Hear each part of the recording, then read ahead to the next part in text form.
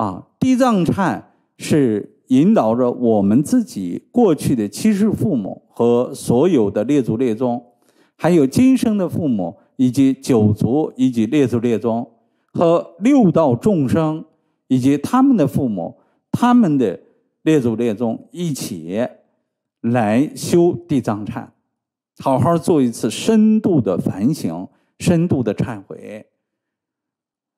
那么。我们无始劫以来造罪了无数的罪业，所以是再大的罪业都抵不过一个忏悔。我们只要真心忏悔，所有的业障都瞬间会消化成空明。和我们相连的无数的众生的怨恨，在我们空明之下。可以觉醒，他们也得到空明，让他们也觉醒自己原本是如来，这是我们能空掉自己业力的根本原因。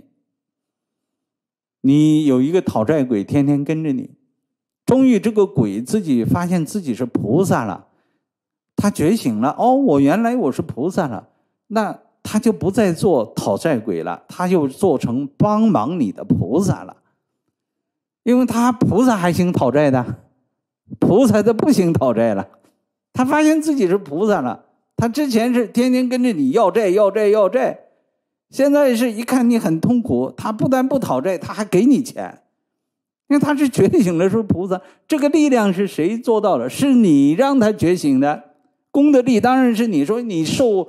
受到善报了，原来的讨债鬼变成菩萨了，给你钱了，变成财神了。说我们一定要在这个道理上要懂要通，所以我们为什么要觉醒所有的众生？觉醒所有的众生，当然包括你的冤亲债主，包括你所有祖先和过去去世父母的冤亲债主，这些都觉醒成菩萨了。你一个人的修行力加上这么多菩萨的。加持力，你怎么会这一生不成功呢？